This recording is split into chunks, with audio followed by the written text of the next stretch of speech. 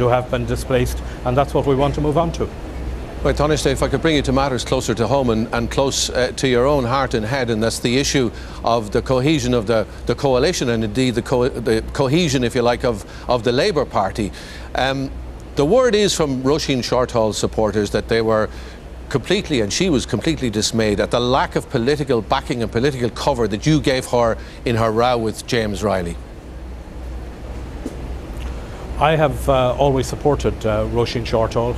Uh, I think Roisin Shortall is an outstanding public representative, somebody that I have great time for. Uh, I think that she has worked extremely hard uh, in the Department of Health. Uh, there's no doubt that there were that there were difficulties. We had been working on those difficulties over a period of time. There were meetings of the Health Subcommittee of the Cabinet. There was a meeting between the Economic Management Council of the government and uh, the ministers in the uh, Department of Health uh, before the summer. There was a meeting between the Taoiseach, myself, Minister Reilly, and Minister Shortall uh, before the summer.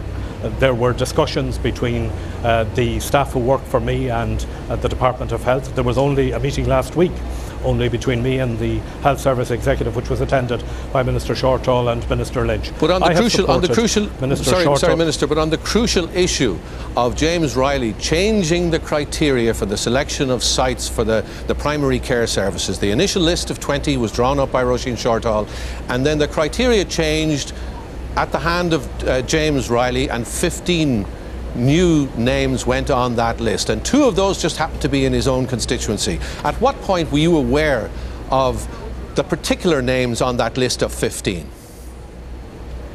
Well, I think what we have to understand here is what was, what was happening. What we were doing here was providing the money to build uh, primary care centres. Uh, there were 20 which were selected. Uh, those 20 remained. There was no change in, uh, in those. There was a decision taken uh, to add an additional 15 uh, so that uh, no vested interest in the health system would be able to have the government over a barrel uh, in relation to the ones that were being Why provided. was the criteria changed uh, midstream? Why was the criteria changed the criteria halfway through the process? Because there, there, were additional numbers being added. But why not use the old the system? No, but what we have to remember here is what was happening. This was done in, uh, when the stimulus package that was uh, presented by Brendan Howlin in uh, July was being done. And as part of that stimulus package, we wanted to include the provision of the primary care centres because this was a key part of the programme for government.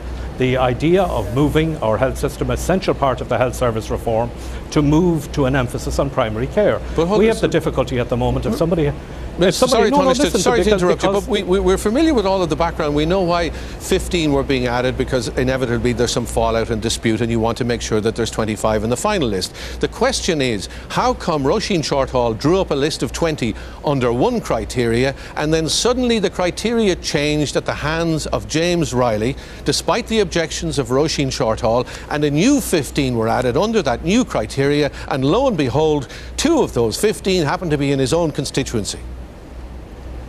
Does that not look like stroke politics increased. to you? And the numbers.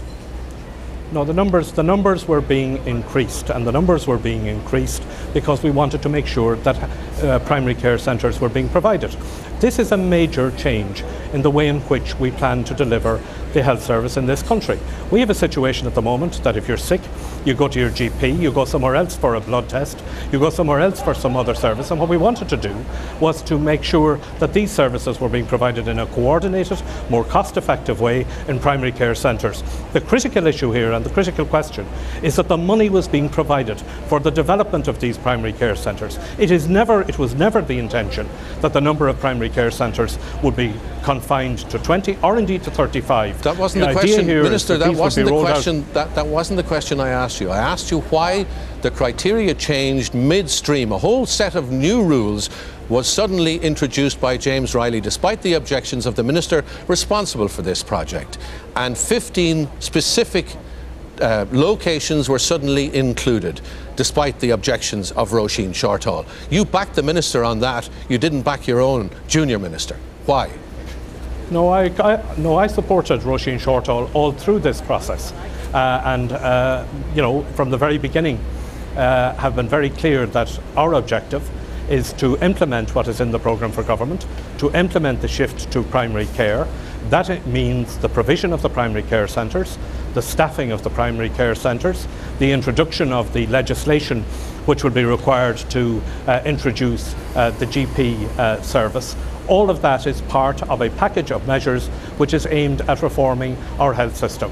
And that is, that is my priority, to make sure that we get a health service and a primary mm-hmm. care system that works for the patient and that works for the public. Now, there will always be difficulties and there will always be differences and, dif- and disagreements so you, you don't between think, ministers you don't think between people on, in on, departments. Unlike, say, Leo Varadkar, you don't think that this looks like a political stroke and that that's the perception held by many people in this country tonight? Well, we can call it what we like, but I think well, what, what is more important uh, is, is no, what I think is more important, and we have to look at what we're, what we're attempting to achieve here. What we're attempting to achieve here is a decent health service. We have to try and do that in circumstances where there is less money and fewer staff. The important point here is that this government provided the money to build primary care centres, has provided the money to recruit the staff to staff those primary care centres. All right. I want to see that happen. And I hope now that uh, Alex White uh, will press ahead with that uh, when he's appointed as the new Minister of State in the Department of Health. All right, can we just move on to the whole issue of the ESM and what